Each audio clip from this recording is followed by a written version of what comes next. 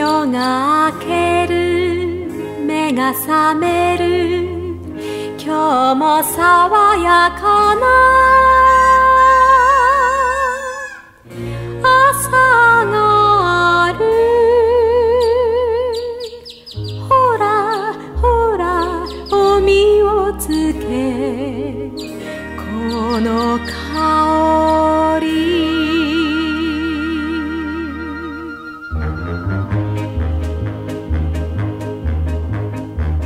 ちの父さんおみおつけ大好きで。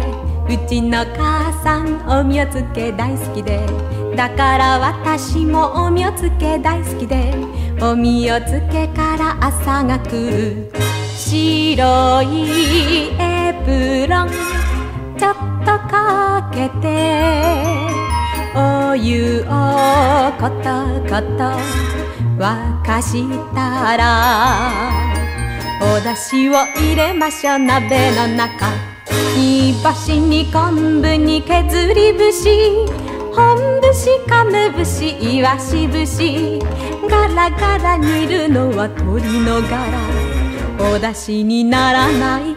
なにわ節。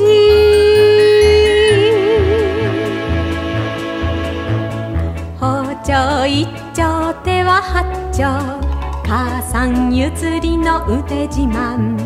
煮出しの中身を言うならばわかめに三つ葉にしじみ汁豆腐はさいの目ととんのとん。おねぎは長めにととんのとん。油揚げ短冊ととんのとん。春ならたけのこ秋わらび。こんこん粉雪降る頃はポカポカ嬉しいけんちんでたまにはさっぱりほうれん草。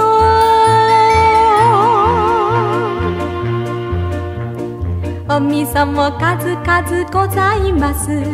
よりどりみどりで好き好きで向こうのおばさん津軽味噌隣のおばさん新酒味噌三軒離れた。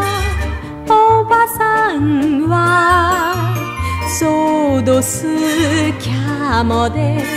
最強味噌コンピラ船船寒き味噌バッテン生まれは長崎で。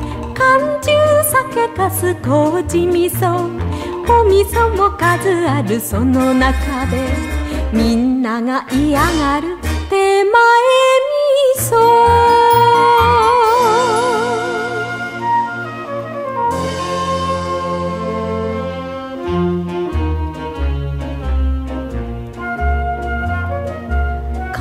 母さん譲りの海をつけこんなに上手にできたけど私のあなたが好きなのはパンにバターにマヨネーズ。